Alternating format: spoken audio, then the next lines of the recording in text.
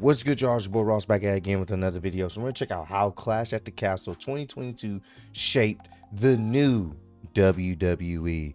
Um, I want to give a shout out to Superkick Studios. It's been a minute since I've checked out one of his uh, uh, videos on his channel, so I'm gonna link the original video down below. He he definitely does some good retrospectives of certain pay-per-views or WWE or wrestling events in general. So definitely go check them out. Like I said, link in the original video down below. But I definitely wanted to check this out. I think someone had sent this to me on Twitter.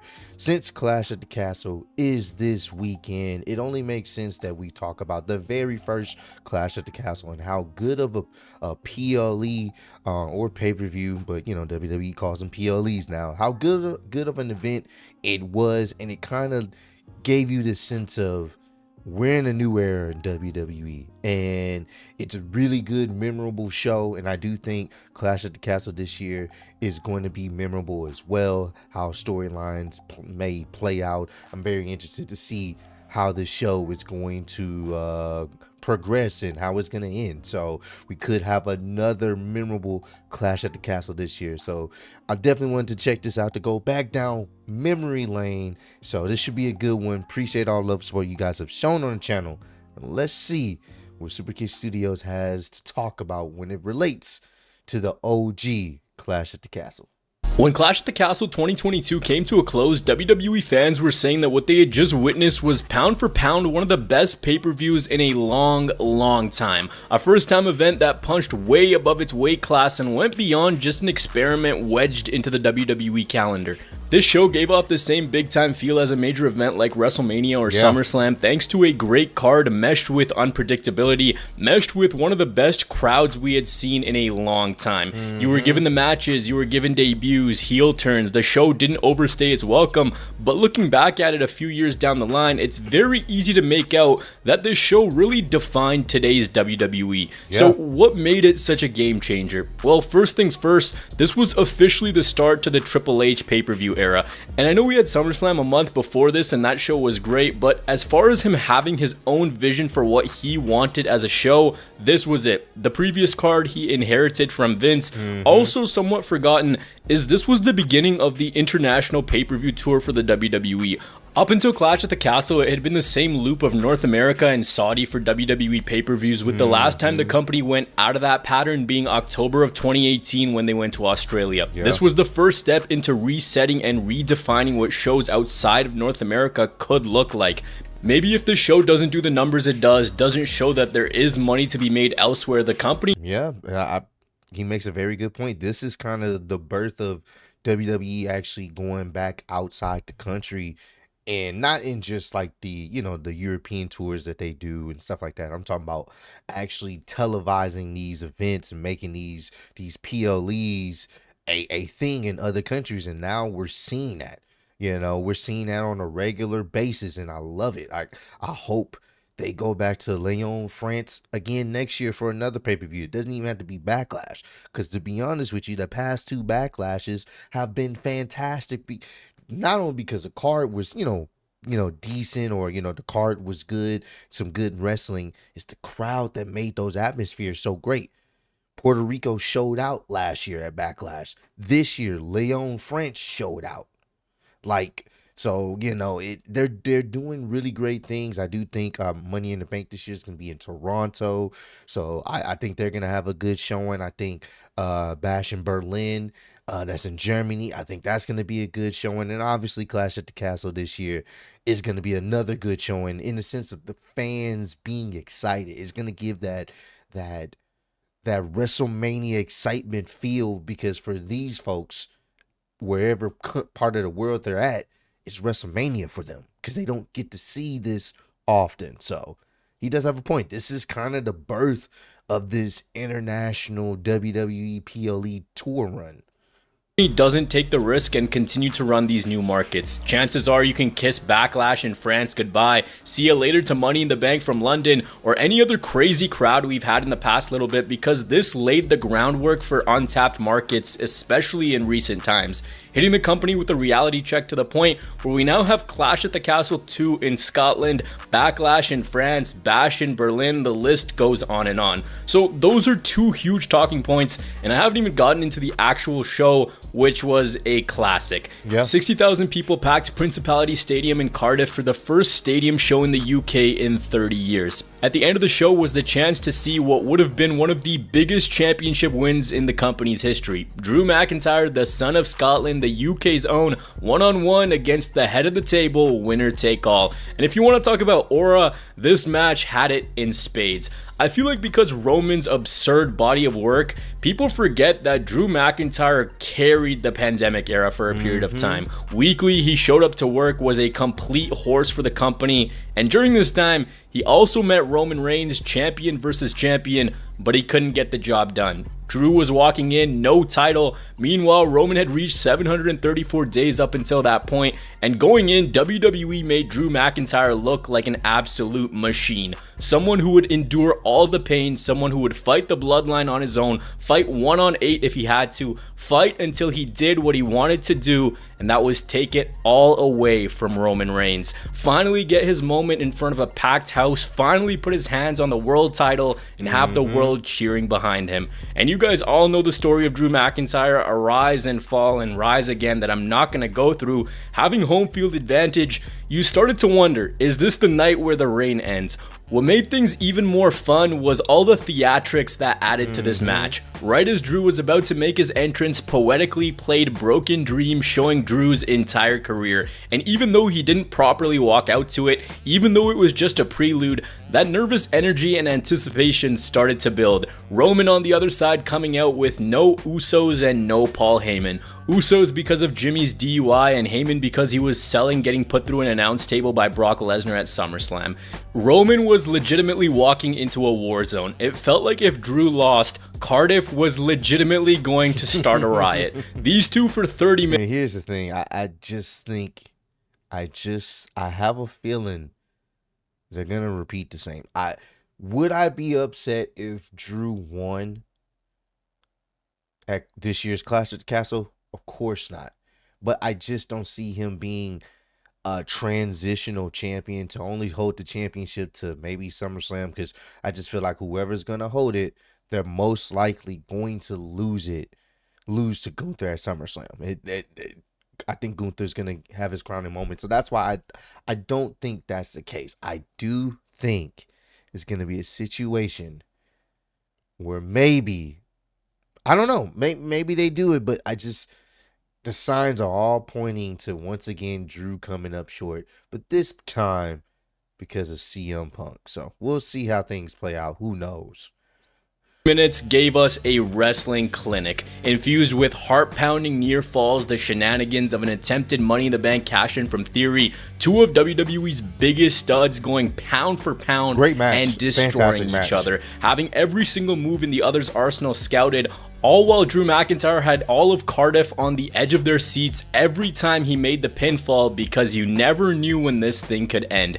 And then it looked like the end was in yep. fact here. Drew McIntyre claymored Roman Reigns into 2047, and just as he's about to get the three, such a, a game-changing debut. A, a match, debut bro. that would add another member to the bloodline. Solo Sikoa was enough to distract Drew and give Roman the win and break everyone's heart. I remember so many of us thought that this was mm -hmm. the perfect night to do it. This should have been Drew's crowning moment, but it wasn't his time just yet. Now, a few years later, Drew has the chance to do it all over again, but this time end up the victor. In a weird way, what's so perfect about this is now Drew McIntyre's challenging for the World Heavyweight Championship, and the whole character transformation that he went through started because he was annoyed with Cody yeah. bringing over a former member of the Bloodline. This man hated the Bloodline because they cost him his biggest moment, and now it. And this is why I say it looks poetic. It looks like he's gonna finally get his moment, but this time is because of his hatred for CM Punk. This is what's going to cause this. his hatred for CM Punk, his constant shit talking of CM Punk is going to cost him because CM Punk has made it very clear I'm going to make your life a living hell. As long as I'm on the shelf, I'm going to make sure you don't win the championship. This is why I like this dynamic because it looks like everything is set up for him to win. But ultimately, his hatred for CM Punk and the shit talking he continuously keeps doing is going to cost him. That's what I think it is. Could possibly lead to an even bigger moment.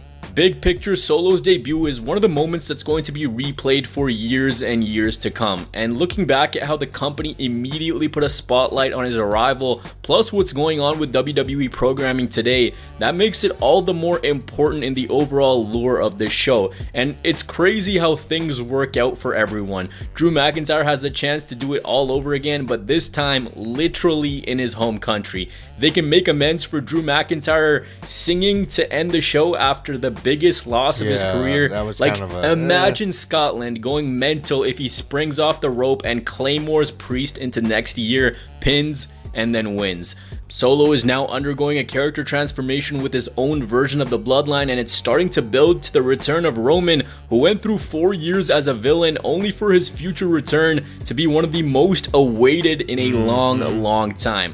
So what happened to close the night holds major significance, but the one thing this night also did was yeah. rebooted what it meant to be the Intercontinental Champion. Ooh, Seriously, for years the company bro. had led you to believe that holding this championship came with prestige, that this was the workhorse's title, that this championship was the pathway into the main event scene. But let's be honest, no matter how much they gassed it up, that simply wasn't true. The Intercontinental Championship scene had some peaks here and there, but it was a shell of what it once was. So much so that Clash at the Castle was the first time since WrestleMania 37 that this championship was defended on pay-per-view. That's a span of 15 pay-per-views and That's you're led wild. to believe that this title actually means something. But on this night, the championship was reborn, and the guys who gave it new life Gunther, and Sheamus. Mm-hmm. Sheamus, who in his rookie year had won the WWE Championship and now was looking to complete the Grand Slam. And speaking of rookie years on the main roster, underline main roster WWE,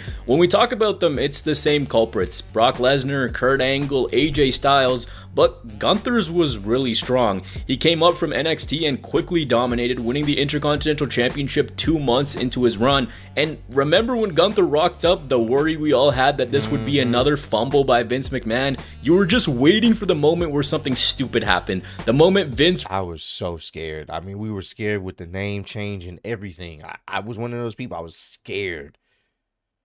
But surprisingly, Vince didn't ruin him. It's one thing we can say he kept him strong. And I think it also plays into the fact that Gunther did change his, you know, his physical look. And I think that's what Vince wanted uh, for him to change his physical look. And he did. He did. He changed his physical look. Looks like he's in the best shape of his career. And I think Vince kind of appreciated that hard work. So he didn't bury him. He kept him looking strong. And Gunther, right now, like I said, he won King of the Ring in a controversial fast controversial fashion fashion and he's gonna end up winning at SummerSlam, whoever he faces. I, I do still think it's gonna be Damian Priest. I do feel like it's gonna be Damian Priest. I mean, if it is Drew, that's cool, but it's just gonna suck because Drew would literally just be dropping the championship again. That's why I say I think it would be better if it's Damian Priest. Either way, he's winning the World Heavyweight Championship and he's gonna hold it for a while. Simple as that repackaged him as Grizzly Gunther, made him come out wearing a robe to resemble a bear with a skinned bear head on it. All this while he pranced down to some horrible Def Rebel song that probably went like this. Ring General, Ring General, bear noise. Ring General, Ring General, bear noise. Ring General. We all knew it was a matter of time until Gunther became another one that got away. Even the Intercontinental Championship reign didn't become what it was until this night. Both guys had promised to break each other until there was simply nothing left of the other. As Gunther entered, Giovanni Vinci was put back in Imperium, so the band was back together. The crowd continued to be absolutely electric for this, like it was a football match, and Sheamus was the home team. As so the bell rang, bro. it was chaos all around Gunther and Sheamus with the other members of their groups brawling, and they don't lay a hand on each other until the bell rings. But once that bell rings, Such you get one of the most physical matchups ever. The They recently just had a good match on Monday Night Raw too. Like these these guys, they just they work well in the ring together. These two have the weirdest chop and forearm kink because that's what a lot of this match is made out of. It wasn't anything fancy, it was hard hitting strikes, it was moves that are very commonplace within a normal wrestling match, but it's the violence that these two delivered those moves with. The whole psychology of the match was that Sheamus would not surrender. No matter how red his Mm-hmm. chest got, no matter how much punishment he took, no matter how much Gunther drained him, he was not going to say die. Such a good Even the match, finish bro. was brilliant. Sheamus went for the brogue, but his back gave out after taking Mm-hmm. so much punishment. Gunther went to hit a power bomb, but he was barely able to deliver it, showing that he was dead on the other side as well. One final lariat, that's it. It was like the final bullet in a gunfight getting the kill. Whoever had just one more would take it, and that's exactly what happened.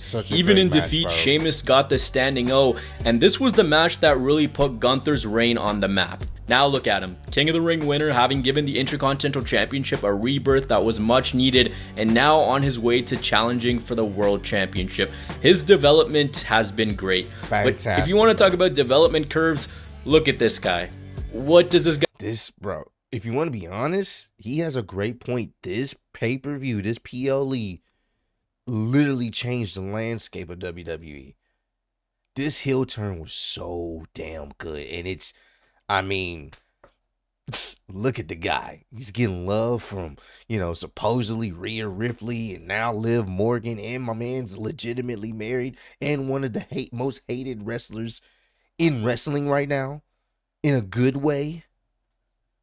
This this PLE did wonders for a lot of people, bro. It changed the landscape of. WWE. guy screamed to you? That's right, nothing.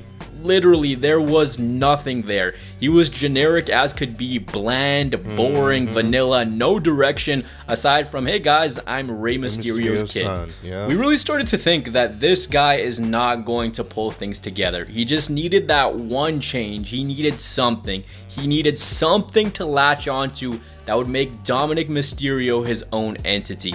And on this night, we finally got it. So Edge had returned at SummerSlam since he was feuding with the Judgment Day to get the assist in Rey and Dom's match, and now Rey wanted to get even more even with the Judgment Day, and he chose Edge as his partner for the match. After all, it was Edge who created the Judgment Day, then had his group taken over by the Goth Kids. This man really cut his hair to look like an elementary school teacher, only to be in the group for like a month. So Rey wanted revenge on the Judgment Day, chose Edge as his partner, and that made Dom very jealous. He wasn't chosen by his dad, but in this, he met his mom. And this is when Rhea was just tormenting this guy.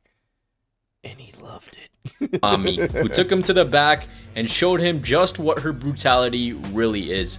Make of that whatever you want. So you knew that Dom was gonna turn on Edge at one point or another. We'll cross that bridge very quickly here in a sec, but the Cardiff crowd absolutely lost it for Edge Generico. Mm-hmm.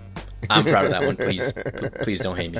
They were singing Metalingus, they were having fun, and this tag team match was an absolute blast, like most things on this show. And after Rey and Edge won, Dom came into the ring to celebrate, kicked Edge right in the Genericos, and the crowd lost it. Dom had officially turned heel, and now you're thinking, all right, this is gonna get stretched out, and Rey's gonna do the whole Oh, why, son? Why did you do that to Edge? He, he's familiar. But instead, Dominic Mysterio looks at his dad and delivers a clothesline Oh from hell so good it would make JBL forget Such that he hates. Mexicans. And from that moment there, nothing was ever This the same for Dominic. good, after bro. everything he had done for him, after literally winning his custody in a ladder match, That's how he repaid him. The crowd went berserk for this turn, and at this moment, he found a connection with the crowd and he hasn't lost it since. Nope. Eventually, Dom joined the Judgment Day and committed felonies so vicious I can't talk about them on this channel. now, every arena he goes into, he can't even speak without being drowned out by booze, becoming the most despicable, nasty, conniving sleazeball in the company, and it's beautiful. Now he's poised to do big things, and if you tell me that Dom Mysterio is going to be a future world champion, I'm going to tell you, of course he is. In 2022, I would have had some serious, serious Mm-hmm. concerns. Speaking of concern, it seems like Seth and, Rollins. and it works because I mean, Money in the Bank's right around the corner. You can do something with him there. You could. He's gonna be a champion. Uh, maybe I don't know when, but he would be. I could see him being a the perfect chicken shit heel champion, and he could have a, a decent title reign. Only be and it works because you you want to see him lose. I don't know if it's gonna happen anytime soon. I'm not putting that out there, but I could see it possibly working because there's nothing better than a chicken shit heel that's your champion because people are to pay top dollar just to see this guy get beat up. But we'll see if it does happen though.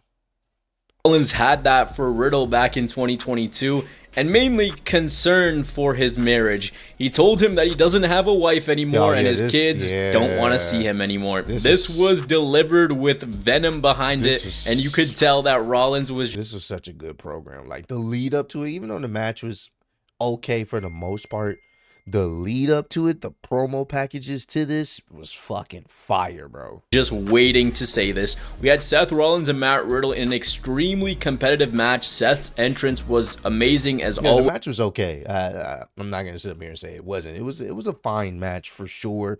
In my opinion, it you know the what was being said, you know, could have been a little bit more intense, but I enjoyed it for what it was. I'm not gonna sit up here and say it was bad by any means. always. The finish came when Rollins egged on Riddle, making fun of his divorce and family, and that was ultimately Riddle's undoing as he nearly got DQ'd before Rollins hit a middle rope curb stomp to take the win. We saw damage control in their earliest stages a little while after the group formed at SummerSlam. Liv and Shayna was fine for what it was. All in all, this night was outstanding, but why this matters is because of everything attached to this show. This being the flame that ignited international pay per views, Dominic's heel turn, the resurgence of the Intercontinental Championship, Solo Sikoa's main roster debut, Triple H's first true pay per view, it's crazy how some people have progressed. Gunther is now on his way to challenging for a world title. Drew McIntyre's recent performance is a construct of what happened at this pay per view the last time. Mm-hmm. Iyo Sky has become Miss Money in the Bank and a women's champion since. The list goes on and on. Drew versus Roman was one of the most hyped and most unpredictable matches in a long while. A spectacular crowd, a great night of entertainment, big matches, entrances, you name it. All this with Cody Rhodes and Randy Orton on the shelf, no Brock Lesnar. They didn't mm-hmm. have any nostalgia pops, they didn't need to pop in any part timers to sell this show. This show was just brilliant from top to bottom. Now WWE will present Clash at the Castle 2 from Scotland and it has the potential to best the first one. Mm-hmm. Drew McIntyre now on his actual home turf going for the World Championship. Styles and Rhodes in an I Quit mm, match. Sammy and. Gable in what might top Gunther and Sheamus Yeah, as far as a a pound for pound championship match. That's gonna be really we have good, too. WrestleMania, we have SummerSlam, Royal Rumble, Survivor Series, the pillars of WWE's pay-per-view calendar, but now they have the chance to turn Clash at the Castle into its own entity. To make it as big or close to it as they can to those shows. But for now, the first version remains not only one of the best rewatches from point A to point B, but one of the most significant shows in WWE history. Hey man, I'm gonna go ahead and give homie a like here because his videos are always good. I love his retrospective takes on pay per views and you know, you know wrestlers and stuff like that in WWE or in any company. But you know, he primarily does talk about WWE. Definitely go ahead and give a like. Y'all subscribe to Super Kick Studios. I have been for a while now. Definitely go show him some love. I'm gonna link down the original video. He has some other videos I hadn't checked out. I didn't plan on doing a reaction to, but I'll probably check him out off camera go show him some love, man. This is this just got me even more hype for Clash at the Castle this year. I cannot wait for Saturday. It's gonna be fun. I'm gonna have a great time live streaming with you guys. Clash at the Castle, man. It, it, it, it's I like what they did here. That they're not running it into the ground. We haven't had it obviously since 2022. It's been two years later. We're getting it again. It should definitely be a staple. Every few years you get a clash at the castle. This was great. The first one was great. I think the second one may even be better.